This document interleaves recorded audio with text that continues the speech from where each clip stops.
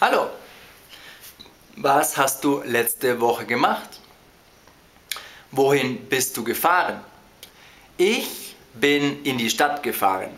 Ich bin in einen Elektronikladen gegangen und ich habe mir dort ein neues Computerspiel gekauft. Und danach bin ich nach Hause gefahren und ich habe in meinem Zimmer Computer gespielt. Das ganze Wochenende. Das war super. Ich bin nirgendwo hingegangen, ich bin nicht nach draußen gegangen, ich habe nur in meinem Zimmer Computer gespielt.